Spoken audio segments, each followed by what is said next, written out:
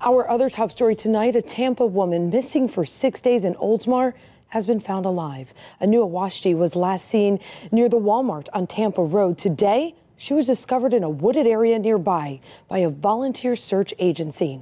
10 Tampa Bay's Hannah Denise spoke with her family hours after hearing the good news and seeing Anu for the first time to see her made me so happy. Again, don't want to be too excited, don't want to startle her. Relief and disbelief. Uh, she's still in a very fragile state.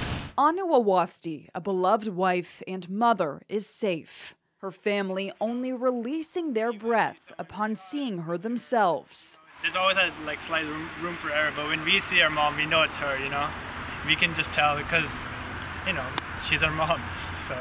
That building there is the Oldsmar Walmart, one of the last places Anu was seen before she disappeared six days ago. And today, roughly 65 yards through this thick brush here, she was found.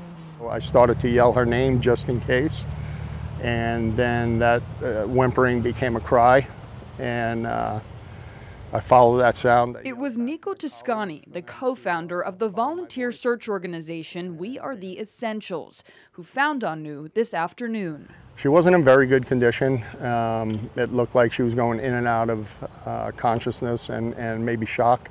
This could be an unforgiving area.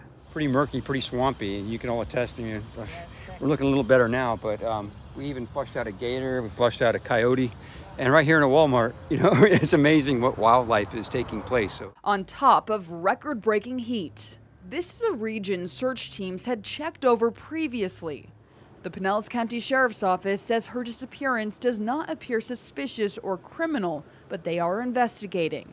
As for Anu, it appears she's eager to reconnect with loved ones. After a while, she was able to ask, how are my boys, where are my boys?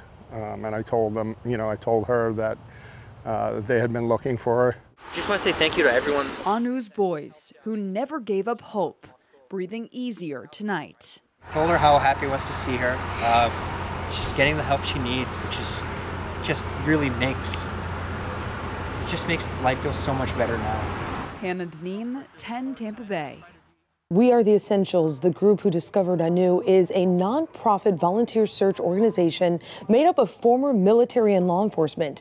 They work off of donations and corporate sponsors. If you would like to sponsor their work, you can find more information on 10tampabay.com.